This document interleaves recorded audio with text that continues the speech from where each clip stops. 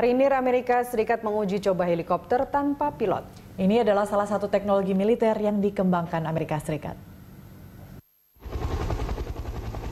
Pilot di helikopter ini pada dasarnya cuma menumpang karena helikopter otonom ini bisa terbang sendiri. The helicopter itself has its own brain basically and it thinks for itself.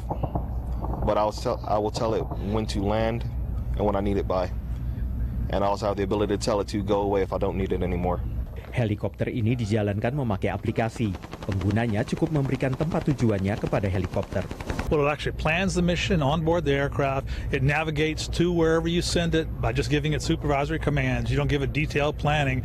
It avoids obstacles in a route. It avoids wires, trees, all, any obstacle it might interact with, and then goes to a landing zone that it knows nothing about, just like a pilot would. Bagi militer, keputusan untuk memanfaatkan pesawat otonom menyangkut penyelamatan jiwa dan kepraktisan.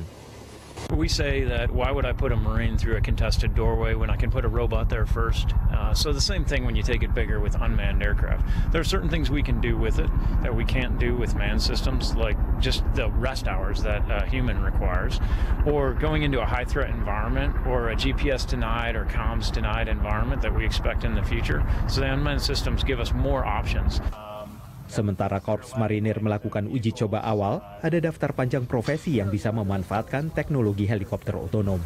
The firefighting situation going on in California, um, uh, you know, they're put they're put in harm's way every day. The pilots and crews. So, um, having something that they could send out there do the mission without someone on board or or limited crew um, is certainly uh, a worthwhile investment.